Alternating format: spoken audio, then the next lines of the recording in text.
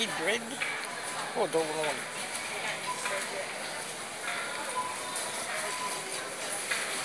See, around here they send, spend much time on the bread. Hey, look, I'm not walking through past the bread anymore. Cheese and bacon, four dollars fifty. Oh, you see the whole bakery section there. The three dollars for the donuts. Ooh, and there's my favourite, the coconut. Oh, and now the uh, the Christmas stuff's going me. We've got the, hang on, where are they?